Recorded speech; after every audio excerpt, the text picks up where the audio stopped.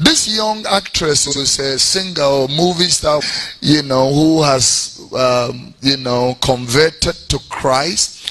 Instead for the Christians to love her, hold her, pray for her, encourage her, they're talking nonsense against her.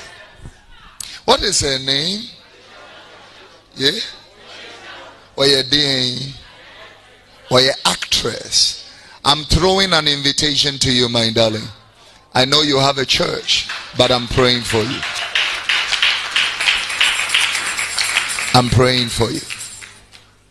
kɔnfɔbɛn yi kaa sɛ wasakra gyinie saa na makeka fa maame ho saa obi sɛ wasakra nne nyame ase we believe in you we, we welcome you home sweetheart